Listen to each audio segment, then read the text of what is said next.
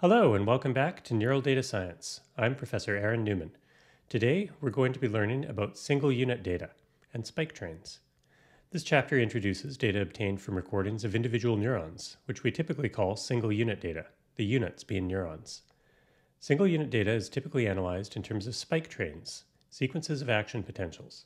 In this chapter, we will learn how spike trains can be represented as data and some ways of working with and visualizing them. As well, the chapter extends our knowledge of Python, including working with NumPy arrays and complex figures with multiple subplots, as well as further discussion of the use of color and other considerations in scientific visualization. Our learning objectives break down into three categories.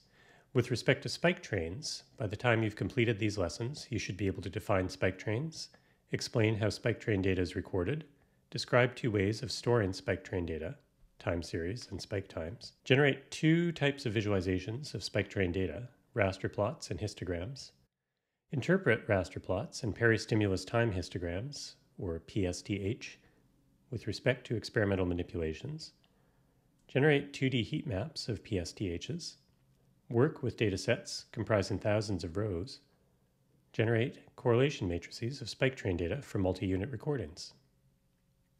In terms of your Python learning, by the end of completing this lesson, you should be able to create and work with data in lists, NumPy arrays, and pandas data frames, use nested list comprehension, use subplots to plot multiple levels of data in a single graphic, and generate data images with plt.imshow. In terms of data visualization, you should be able to make informed decisions about accessible design and scientific visualization, including your choice of color maps and interpolation methods. All right, so let's get started.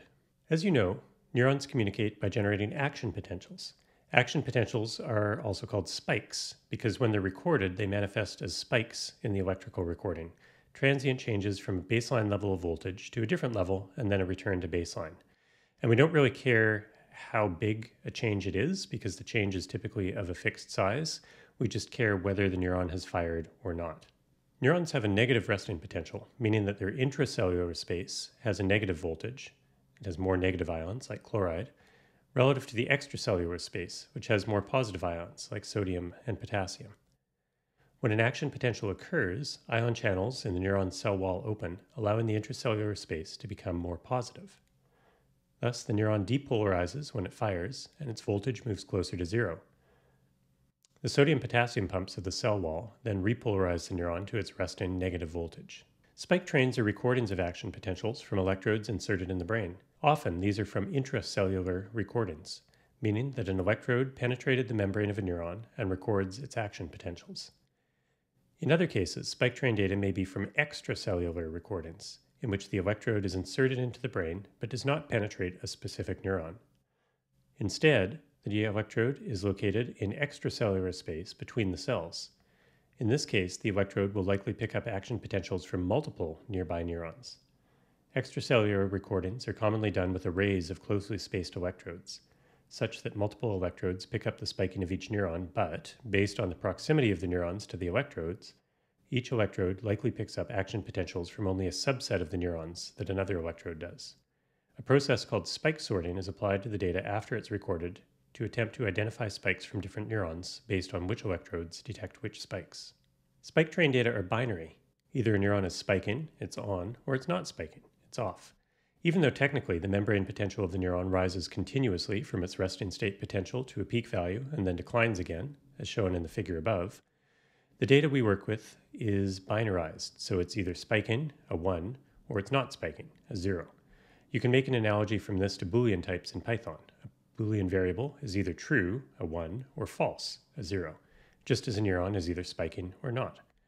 This is distinct from many other types of neural data, such as EEG or fMRI, or even local field potentials recorded from implanted electrodes. Those kinds of measurements do involve continuous changes in values such as voltage or fMRI measurements. So they're different. They're continuous variables, whereas in this case, we're working with discrete binarized variables. Spike data, or spike trains, ultimately consist of information concerning the times at which spikes occurred. Broadly speaking, there are two forms of this sort of data. In what we'll call the continuous form, we have data at every time point over a time period. For example, if we have a two second period covering one trial and experiment. At each time point, the data is either 1 or 0, depending on whether there's a spike or no spike. In the discontinuous form of data, the data are instead represented as the time points at which spikes occurred, the spike times. The assumption is that nothing happened, and we only encode those time points where there's news of a difference, in other words, when a spike occurred. This is a much more efficient way of representing data, since we don't need to have data points for all those time points where nothing actually happened. Regardless, however, both are valid ways of representing the data, and we'll see them both in this unit in the textbook. If you want to learn more about spike trains, how they're recorded, and their role in neural data science, I encourage you to check out the links in the textbook. All right, so in this lesson, we're going to introduce spike train data and learn how to work with it a little bit and visualize it. First thing we're going to do is import the libraries we need. So we'll import matplotlib .pyplot as PLT, and we'll import numpy as NP. Those are the two packages that we're going to use, matplotlib for plotting and numpy for doing numerical uh, kinds of operations. All right, now moving on to our first spike train. Here we're using some synthetic data, so made up data, but we're imagining this is from an experiment where we recorded activity from a single neuron on a single trial that was 20 milliseconds long. So we start the recording at time zero and we record every millisecond whether or not a spike occurs for the next 20 milliseconds. This is, we imagine, from an experiment using optogenetics, which is where you genetically engineer a neuron to respond to light. So when you shine light of a particular frequency or wavelength on it, in this case 550 nanometers, which is kind of a yellowish green color, the neuron is more likely to fire. And in a later lesson, we'll see that as well, the brightness of the light, the intensity, actually affects how likely the, the neuron is to fire. So, anyway, in this experiment, we have one trial right now, and the light was turned on four milliseconds after the recording started, and the light was on for 10 milliseconds, and then it went off. And so, what we'd like to do is visualize the data and see if the neuron responds to the light, and in particular, when it starts responding to the light. So there's typically a little delay between when the stimulus comes on and when the neuron comes on. Okay, for our data, we have a, a spike train defined as a variable, spike underscore train equals, and we're just storing the data in a list. And although I encourage you to type in most of the code that we're working with here because you do learn better, in the case of data, I think it's a better idea to copy and paste the data because that way you don't risk making errors. I'm going to paste it, and then we're going to type in the next line, which is just to see what's the length of this list. Train. And the length is 21 because, as I said, we have a data point at time zero, then at time one, time two, etc., all the way up to 20 milliseconds.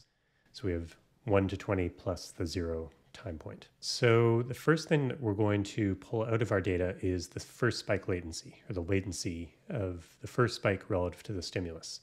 This is a characteristic property of neurons that scientists often look at.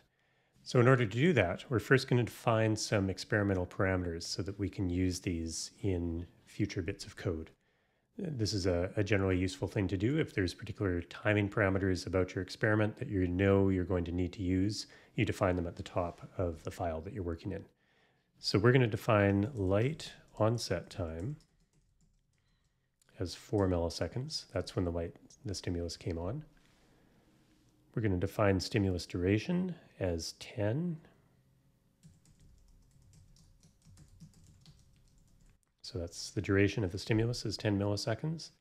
And finally, the spike value. So what value in the data set indicates a spike, and that's a 1. Run that cell. And now we're going to compute the latency to first spike. So latency to first spike equals spike train. So we're going to reference the spike train list. And then we're going to index, we're going to slice the list so we only have the data points starting from when the stimulus came on. So we're going to say light onset time, which we defined up above as 4, colon. So that'll go from light onset time to the end of the list. And then we're going to apply the dot index method and pass to it spike value. So you may remember dot index finds the index uh, in the list of the value that you give it as an argument. So spike value. So in this case, it'll start at time point four and search forward in the list until it finds the first occurrence of a one, and it'll return the index of that one. Then we'll print the results. So print first spike latency to stimulus. And since the first part of our print statement is a string, we want to convert the latency value, which is numerical, to a string type. So str and latency to first spike. The first spike latency to the stimulus is 5. So if we look back up at our list and we ignore time point 0, 1, 2, and 3, the light came on at time point 4.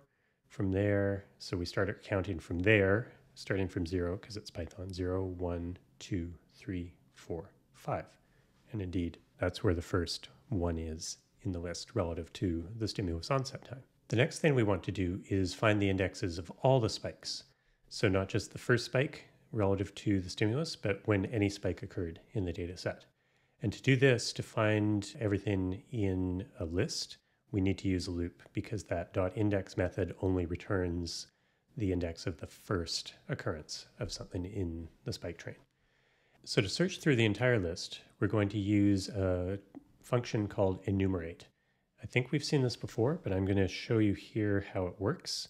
Basically, we're going to say for i comma x in enumerate spike train. So normally for a for loop, we might just say for x in spike train, and it would loop through each item in the spike train list and apply the body of the list to that. When we do for i comma x in enumerate spike train, what enumerate does is it returns two values each time through. So it returns the value from spike train, but it also, uh, and that would be x in this case, so kind of the second output that's returned by enumerate. The first output that's returned by enumerate is the i in this case, that's what we're assigning it to. And that is the index that basically tracks how many times through the list you've done. And in other words, it's indexing the position in the list that you're currently in. So the first time, the first list entry, i will be zero and x will be the value of the first entry in the list. Next time through the loop, i will be one and x will be the value in the one position in the list, and so on and so on.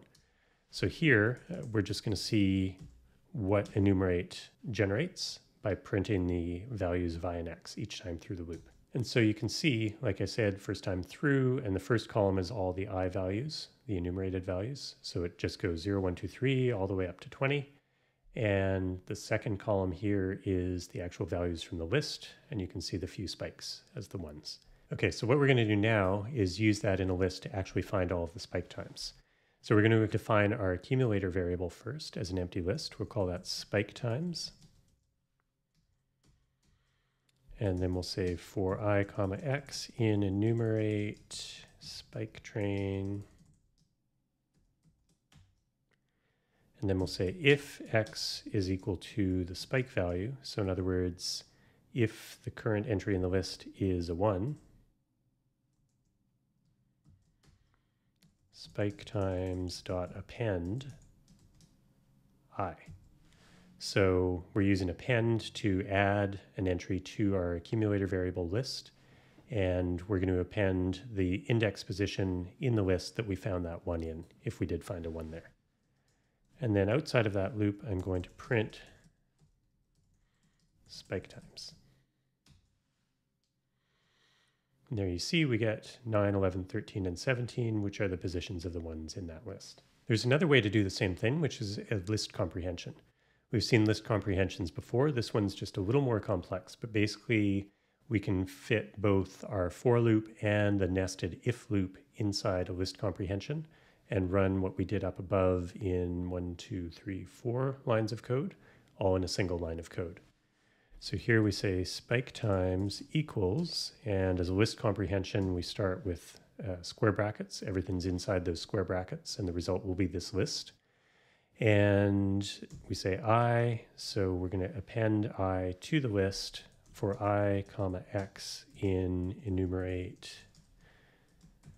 spike train if x is equal to spike value. Okay, so it's basically the structure from the nested for and if statements. For i, x in enumerate spike train, if x equals spike value. We've just put that all in one line inside the list comprehension. And if x equals equals spike value, then it adds i to the list. And again, we'll print spike times, and we see the, we get the same output as we did before, which is great. So it's another way of doing it. And the advantage, as we'll see later, is when you have a single line of code, it's easy to use that inside other commands in Python.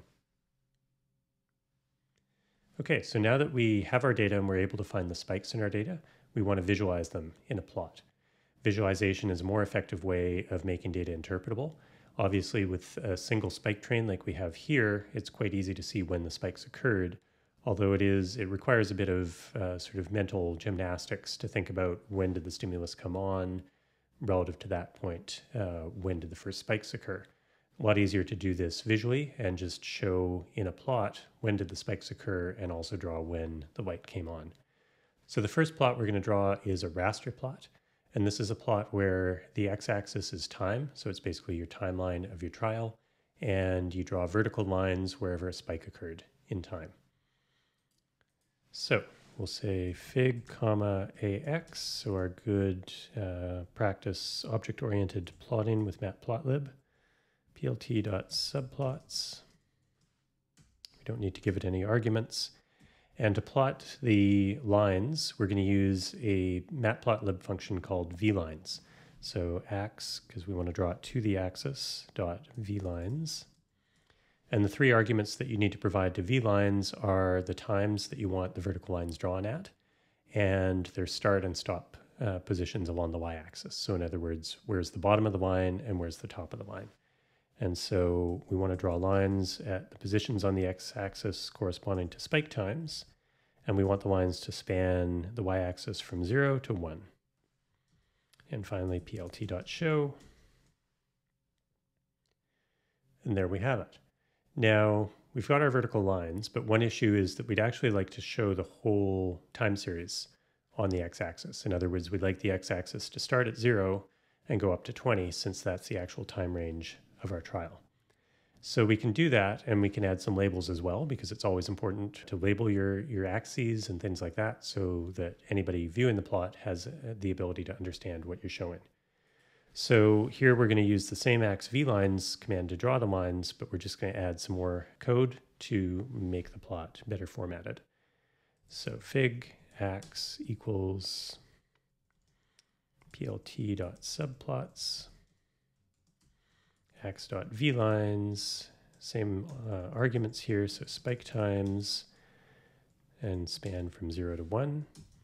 But now we're going to ax.set xlim and we set the x limits as the left hand side of the x-axis value to the right hand maximum value, minimum to maximum, as a list. So it's inside square brackets here, zero, and then for the end, we're going to tell it take the length of the spike train.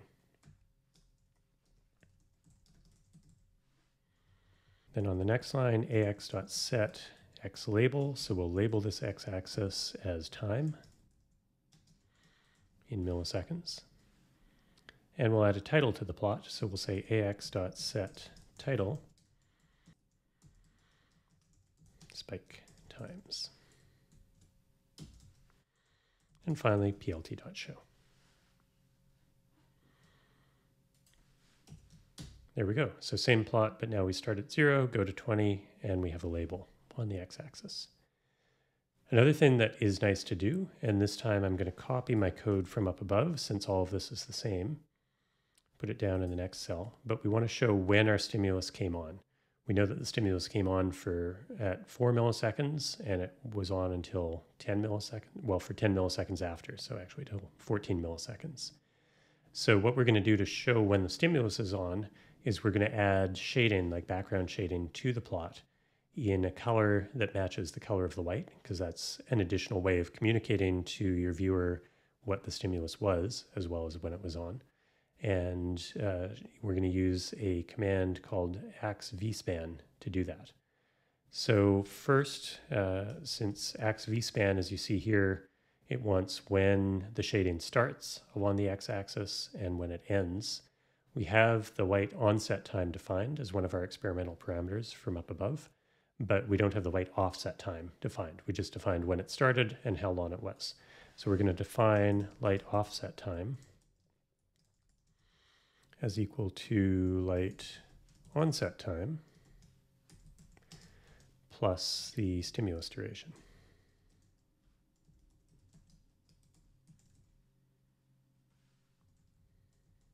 then down below, AX dot, and it's actually X VSpan, light onset time, light offset time, alpha equals 0.5.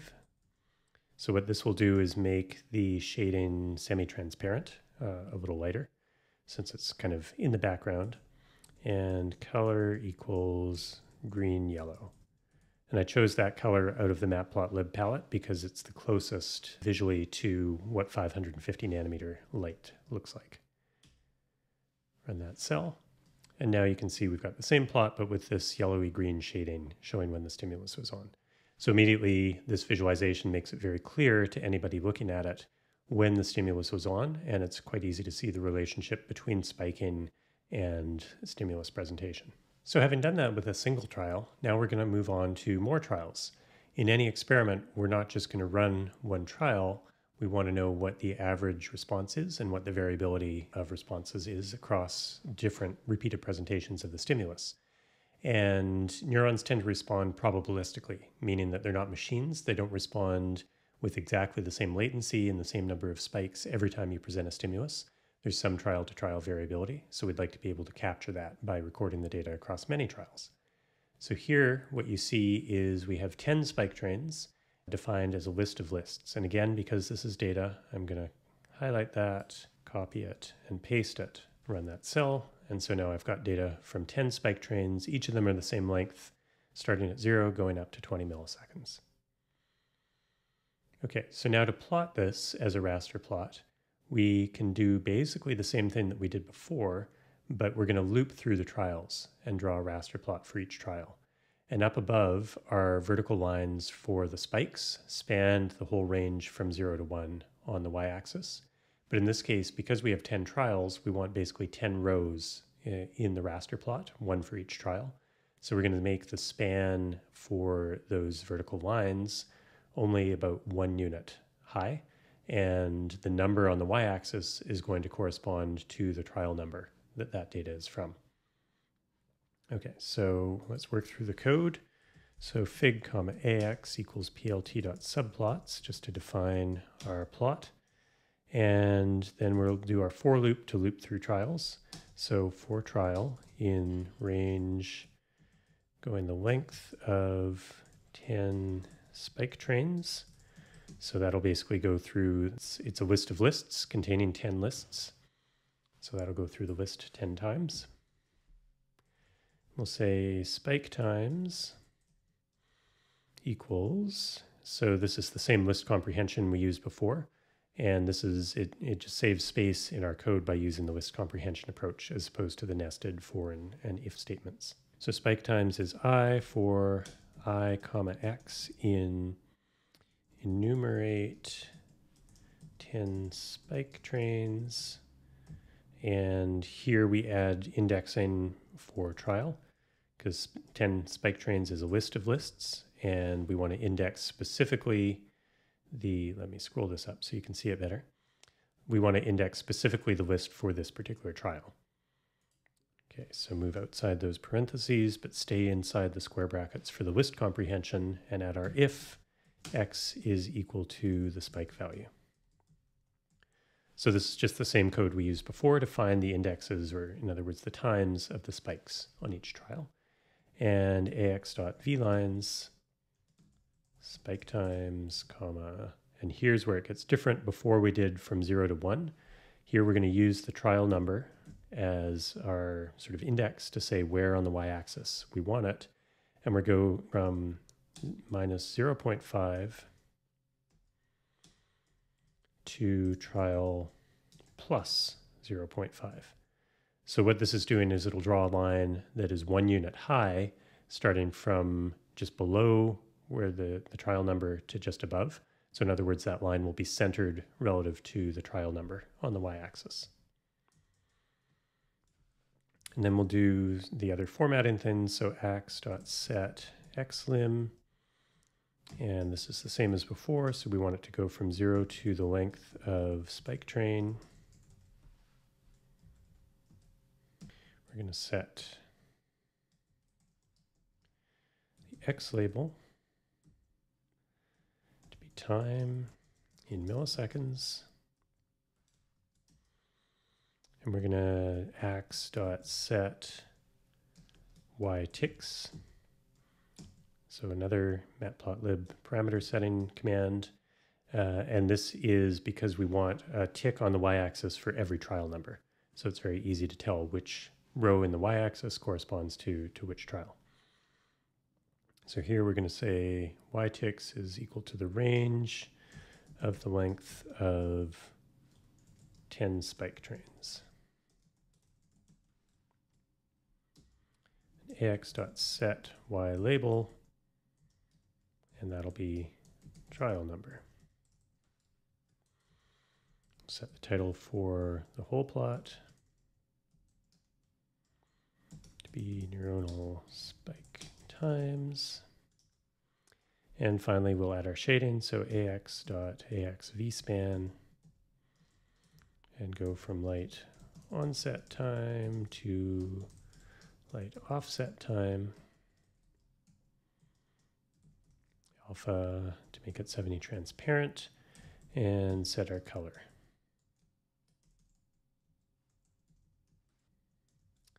And finally, plt.show. There you have it. So again, we have our raster plot. And what's different now is we have different rows for different trials. All right, so this looks quite nice. And that is essentially a raster plot. So looking at the raster plot now, you can see that across many trials, the latency to first spike appears to be, and maybe we should have set our x ticks differently since we didn't actually acquire data at time point 7.5. But regardless, the first spike latency seems to be eight or maybe nine milliseconds relative to the start of the trial. So that would be four or five milliseconds relative to the start of the stimulus. And there does seem to be a relationship between the light coming on and the stimu- and the response of the neuron in that prior to the light coming on, there's very few neural responses, only one. And after the light coming on, and certainly after four or five milliseconds, there is a very consistent response across trials. You can see there's some variability in the timing of the response, but probabilistically, we could say that the neuron's probability of firing increases as a result of uh, shining the light on it. So the next thing we're going to do is a different kind of plot where we're going to basically generate a histogram of how many spikes occurred at each time point across all of the trials.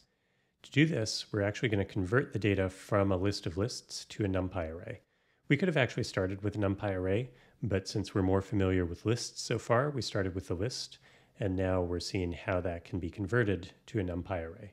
So what is a NumPy array? Eh, you can think of it kind of like a pandas data frame. It doesn't have the ability to label the columns or the rows. And in this case, we're working with a two-dimensional NumPy array, so it has rows and it has columns. Now, arrays in principle can be more than just two-dimensional. So you could actually have a three-dimensional array. So imagine, uh, you know, the, the 2D array of rows and columns, but then many of those going back in depth. So sort of a cube of data rather than a, a square or a sheet. The reason that we're going to work with the data in an array format rather than as a list of lists is that the, the arrays are provided by the NumPy package, and NumPy is heavily optimized to work with arrays, and it gives us a bunch of mathematical functions that make it very easy to work with arrays and do things like compute histograms. Whereas with lists, that's a little more difficult and ultimately a lot slower to run. So it's quite easy to convert the list of lists into uh, an array. So we're going to define spike array as being equal to np.array 10 spike trains. So in other words, we're just passing the list of lists to a function called np array, and that'll make a numpy array. And then we'll print the numpy array. So print spike array, and we'll also ask what's the type of that array. So you can see the array looks a lot like the list of lists in that we have one mm, sort of overall enclosing set of square brackets, and then each trial is in its own set of square brackets. Visually, when you look at this, what tells you it's an array and not a list of lists is that there's no commas. So lists have to have commas separating their list elements, whereas when you print a NumPy array, you don't see those commas. You just see spaces between them, and likewise, you don't have commas between each row. So each in, each sort of inner set of square brackets in this array is one row, and then the columns you can see quite easily. And the final output here, numpy.nd array, so it's the, the type of this is a numpy array. ND stands for n-dimensional because again, this is a two-dimensional array, but NumPy supports three-dimensional and even higher dimensional arrays as well. There's a little bit here about why NumPy arrays. So I already talked about some of that, but basically NumPy is faster, much faster than working with lists of lists, and it scales well to very large data sets, whereas lists don't. NumPy has many tools that are optimized for working with arrays, which makes it easy to do a lot of things that you might want to do in data science, and it also makes them work faster. And finally, NumPy is extensible, so as I said, it can handle data with more than two dimensions and many, many rows, many columns so very large and complex data sets. Okay, so now we're going to draw the histogram, which when we're dealing with spike train data is called a peristimulus time histogram peri meaning around. So basically, relative to the stimulus, over time, let's plot a histogram of how many spikes occur at each point in time.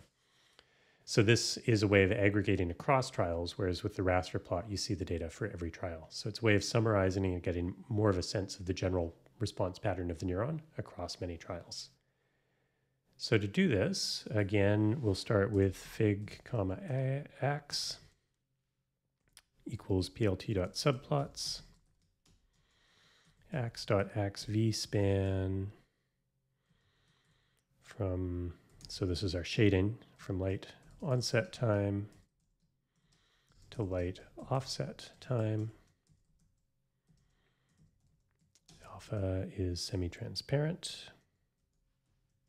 We don't actually need the leading zero when we're doing a decimal like that. And the color is green, yellow. So now we're going to draw the peristimulus time histogram itself. So we're going to do that using a, a bar plot. So ax.bar.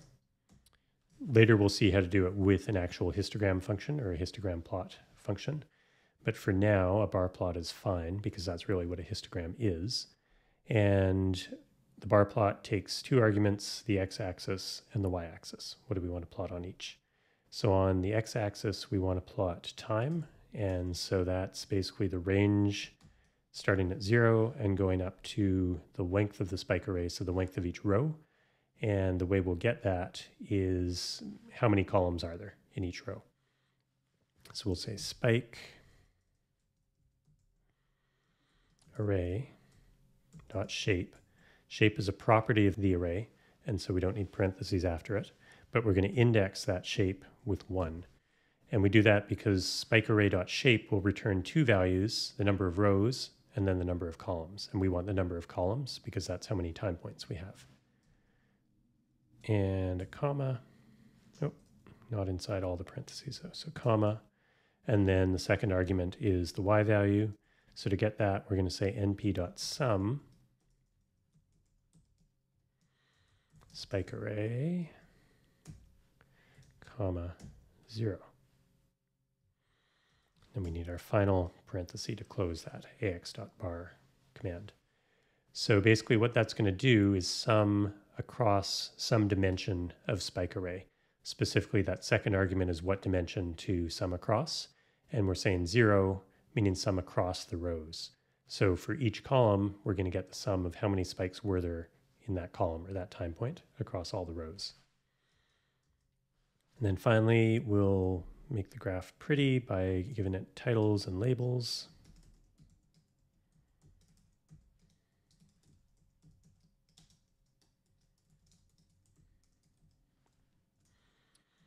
X dot set x label as time in milliseconds, ax dot set y label as mm, number of spikes. I'll simplify my title relative to the example there.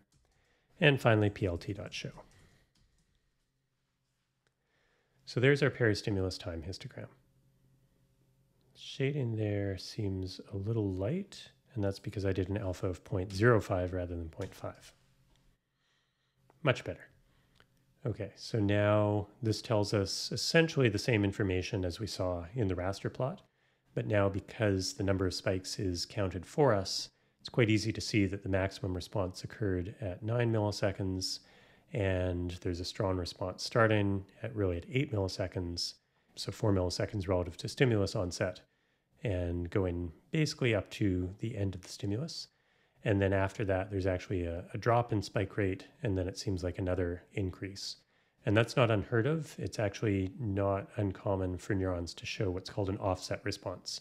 So they respond when the stimulus comes on, but they also make a response after the stimulus goes off, as if they notice that difference as well.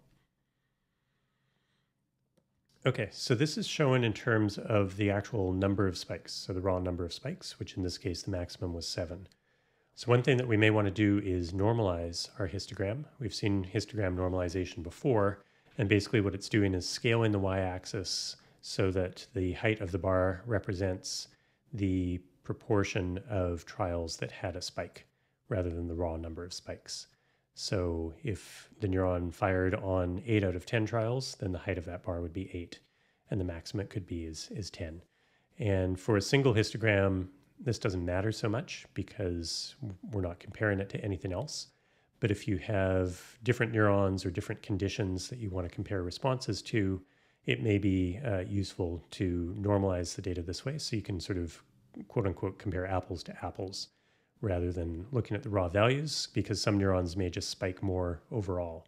And so their raw values may be a lot higher, but the general pattern of their responses or the timing of their responses may be the same as some other neuron that fires less often, but its sort of relative probability of firing in time is similar to the neuron that fires more.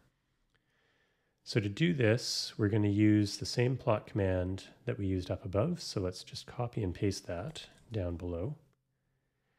The only difference is that instead of using np.sum to compute our bar height, we're going to say np.mean because the mean is out of the total number of rows, in this case, in the NumPy array, how many of them uh, had a spike in it.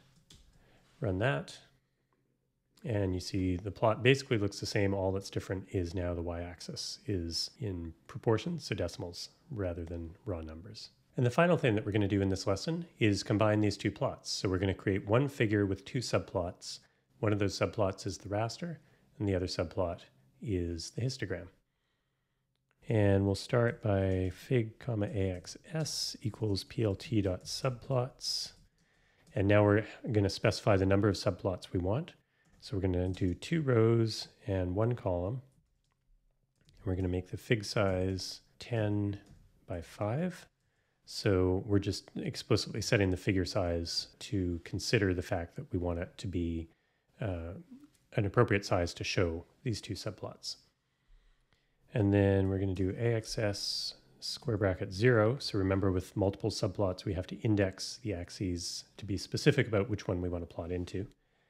AX VSpan light onset time, light offset time, alpha equals 0.5 and color equals green yellow. And then we're going to do our, our raster plot.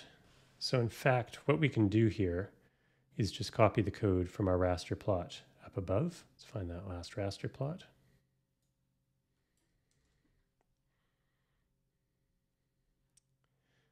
Didn't copy the ax vspan because it was already here.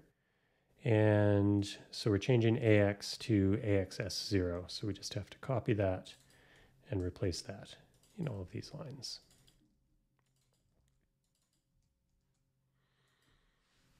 Okay, And now I'm going to add a comment and just say PSTH, just so it's a little clear. And again, we're basically taking the code from our previous peristimulus time histogram. Put it down here. And now we just have to make, well, we don't want the subplots. We just make each of these AXs to be AXS square bracket 1, because now this is the second subplot that we want to draw.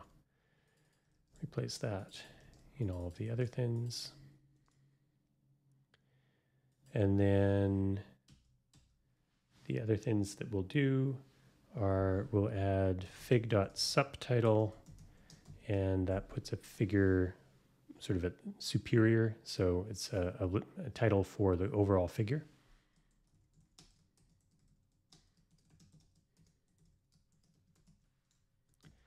And with multiple subplots, it's a good idea to always use plt dot tight layout to ensure that plot elements don't overlap between the different subplots. And finally, plt.show. There we go, except I forgot to change the AX in AX.VLines to AXS square bracket zero. So that's why the raster didn't show up there. There we go. So now we have a raster plot and a peristimulus time histogram, and we can directly compare the two of them. So that brings us to the end of this lesson. Thanks for watching. And in the next lesson, we'll carry this forward by working with data from more intensity levels. So now we're going to look at these raster plots and peristimulus time histograms but across multiple levels of an experimental condition. Thanks for watching. Remember to like and subscribe, and we'll see you next time.